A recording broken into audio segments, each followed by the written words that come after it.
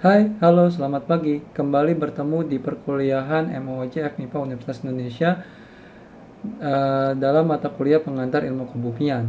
Masih di minggu ke-13 dengan topik posisi bumi di alam semesta, kita sudah masuk ke materi yang ke-11 yaitu uh, properti dari bintang.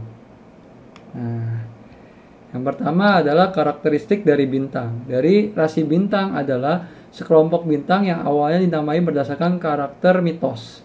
Langit memiliki kurang lebih sekitar 88 rasi bintang. Kemudian kita akan mendapatkan warna bintang dan temperatur. Jadi warna adalah petunjuk dari temperatur dari bintang tersebut. Nah, ini adalah salah satu uh, rasi bintang Orion ya, di mana terdiri dari beberapa bintang. Ada Betelgeuse, Alnilam, Alnitak, Saip, Rigel, Mintaka, Bellatrix yang nanti kalau dijadikan satu menjadi yang kita sebut sebagai uh, rasi bintang Orion. Kemudian yang berikutnya adalah bintang biner dan masa bintang. Jadi bintang biner adalah salah satu dari dua bintang yang berputar di sekitar pusat massa yang sama di bawah daya tarik atau gaya tarik gravitasi antar mereka.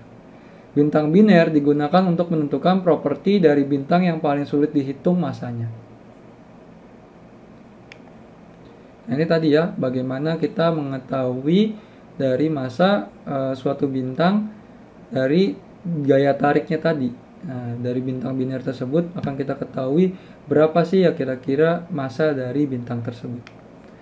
Yang berikutnya adalah bagaimana menghitung jarak dari bintang. Yang pertama adalah paralaks. Paralaks adalah sedikit pergeseran posisi semu bintang karena gerakan orbit bumi. Nah, bintang-bintang terdekat memiliki sudut paralaks terbesar, sedangkan bintang-bintang jauh terlalu kecil untuk diukur. Yang berikutnya ada tahun cahaya.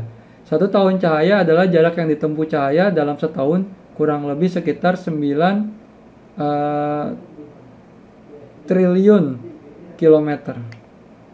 Nah, ini adalah bagaimana kenampakan.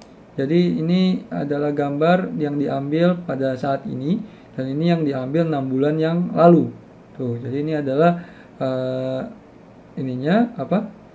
Uh, garisnya. Kemudian ini garis yang enam bulan yang lalu. Nah kurang lebih ini ya jaraknya segitulah. Ini kalau dari hasil titik pertemuan ini yang kita sebut sebagai paralaks. Ini adalah titik pertemuannya dan ini adalah uh, jarak dari bintangnya. Yang berikutnya adalah uh, kecerahan dari uh, bintang. Yang pertama ada magnitudo semu. Magnitudo semu adalah kecerahan bintang jika dilihat dari bumi. Ada tiga faktor yang mengontrol kecerahan bintang yang terlihat dari bumi. Yang pertama adalah dia besar nggak? Itu seberapa besar sih ukurannya? Yang kedua seberapa panas uh, atau temperaturnya? Dan uh, yang berikutnya adalah seberapa jauh jaraknya. Yang berikutnya ada magnitude absolut atau magnitude mutlak adalah kecerahan semu sebuah bintang jika dilihat dari jarak 32,6 tahun cahaya.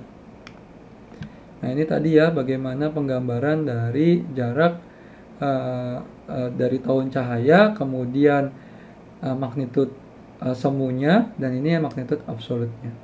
Misalnya kita ambil contoh ada nama uh, bintang namanya Alpha Centauri. Nah, kurang lebih jaraknya adalah 4,27 tahun cahaya. Apparent magnitudenya ini terdekat ya, jadi 0,0. Kemudian untuk absolute magnitudenya adalah 4,4.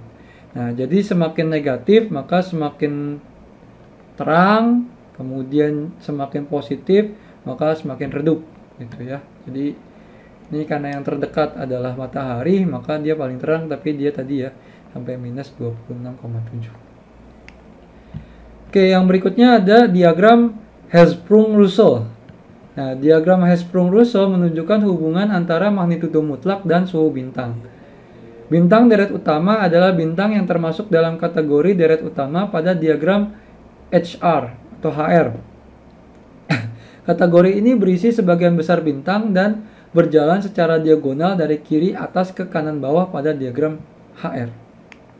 Nah, ini tadi ya, bagaimana kita tahu ini adalah diagram ini uh, Hertzsprung-Russell, para astronom uh, menggunakan diagram ini untuk mempelajari evolusi bintang dengan memplot bintang berdasarkan temperatur dan luminositas atau magnitude absolut dari bintang tersebut.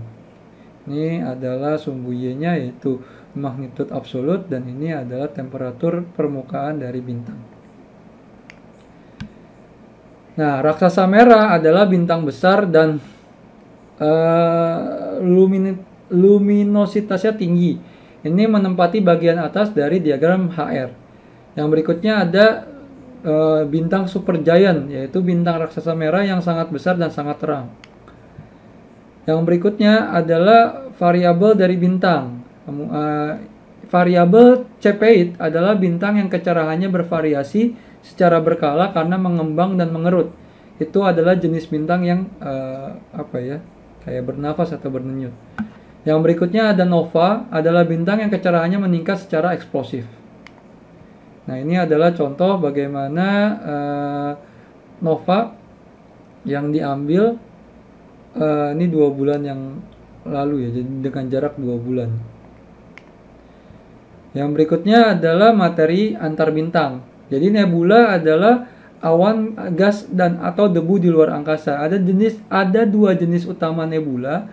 Yang pertama ada nebula uh, apa? Nebula terang di mana nebula terang ini dibagi dua yaitu nebula uh, emisi dan nebula refleksi di mana nebula emisi adalah nebula yang bersinar dengan cahayanya sendiri sedangkan nebula refleksi berarti nebula yang bersinar dengan memantulkan cahaya dari sumber lain yang berikutnya ada nebula gelap nah ini adalah materi dari uh, antar bintang.